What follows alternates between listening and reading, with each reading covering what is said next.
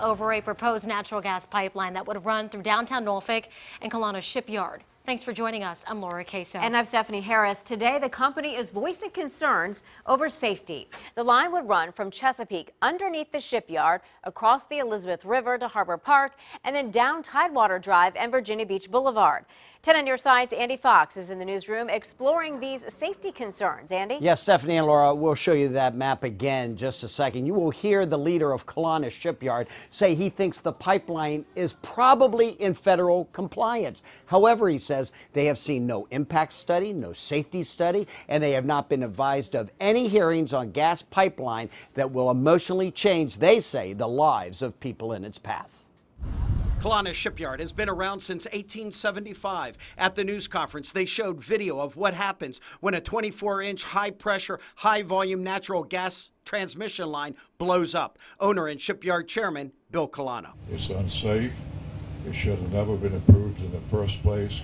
And it's wrong. The pipeline construction could begin November 1st. Homeland Security expert and former head of Naval Station Norfolk, Joe Bouchard, surprised with the gas line's path. And it goes up through a densely populated urban area and then goes right through the middle of Colonna Shipyard and comes out right next to Harbor Park.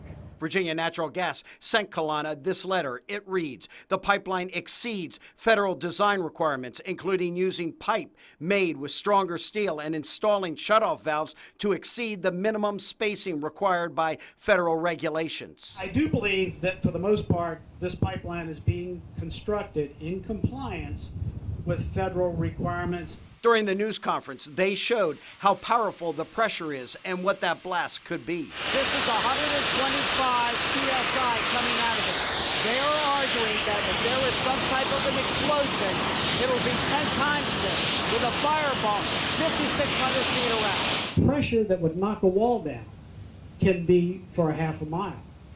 It can destroy everything around it if it were so horrible to happen. In its letter, Virginia Natural Gas wrote Virginia Natural Gas safely operates over 200 miles of this exact type of pipeline across its distribution. Community leaders also concerned. We're going to be in a blast zone, incineration zone. It's just not safe and it's not needed. Yes, and this gas pipeline could be devastating to Colonna. Two thirds of its business is government agencies, including the Navy. Tom Godfrey told us he thinks the Navy will find this risk unacceptable and take ship repair elsewhere. It could be called, he says, the trickle down of the natural gas pipeline. In the newsroom, Andy Fox, 10 on your side.